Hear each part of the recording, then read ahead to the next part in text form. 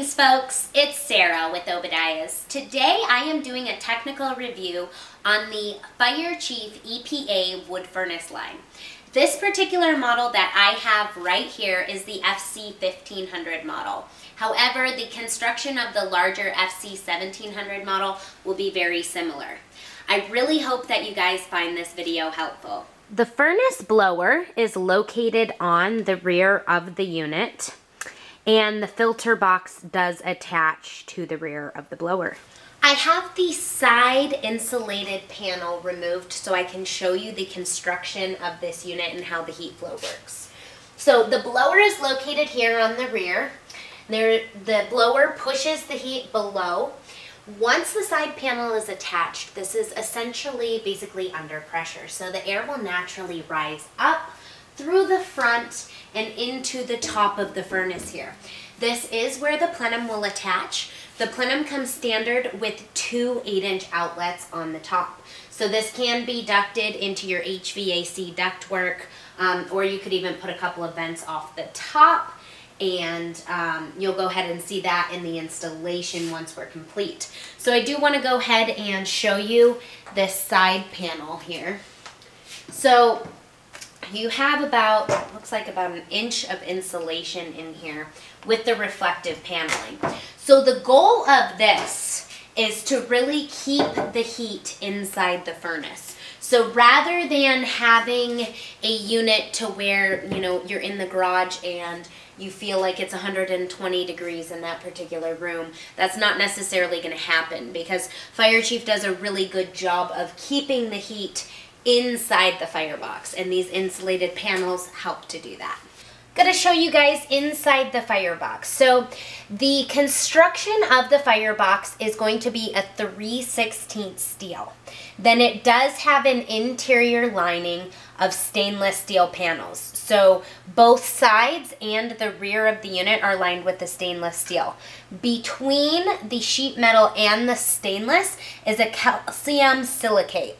So that is a very thick, strong material. This firebox is built to withstand the heat. Fire Chief uses Skamol refractory inside their firebox.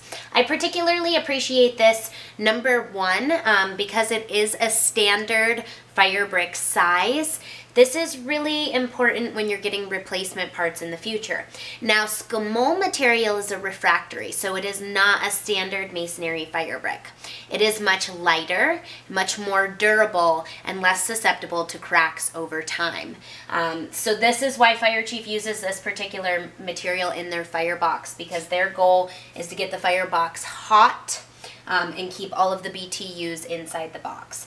Now, one thing I do want to point out is a lot of people will tend to pull out their ash pan um, when they're operating the stove, and this is going to be a big no-no on the fire chief. Um, if this door is open, you can see that this ash pan door is fully gasketed, and that's for a reason. That's to keep this thing airtight.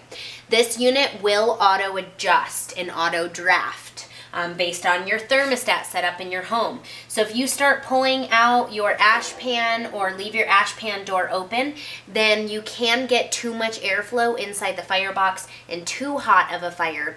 Um, if you do this and you warp your firebox, you're not technically under warranty because you're not burning it to the manufacturer specifications. So I do like to point that out. Um, people especially who have old school style furnaces that maybe aren't necessarily airtight are especially used to doing that. It's also not required to have to pull out your ash pan to get the fire started. So just keep that in mind.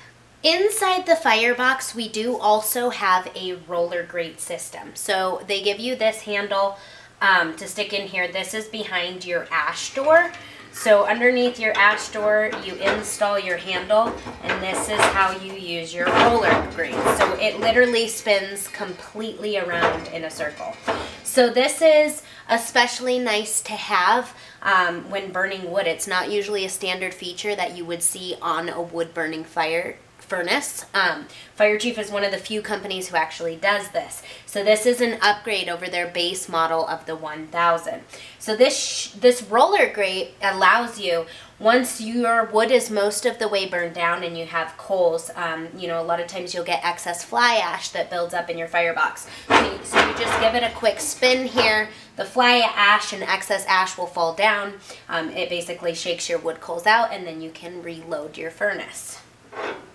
Located directly below is the ash pan. So this is very, very easy maintenance. Um, another similar furnace that's no longer available on the market was the Napoleon. Now, the Napoleon had a dual vortex combustion system. So what's cool about this fire chief is it's a super, super simple design. You have a bar, which is your reburn system, that goes across the whole top of the firebox. Now this one is unique because this bar has three different areas of air holes. So there's air holes on each side and the top of the bar. This is basically like a triple vortex reburn combustion system. So I'm very excited to see this unit burn. I think it's going to be highly efficient. As always, don't forget to click the thumbs up and like our videos and share them with your friends.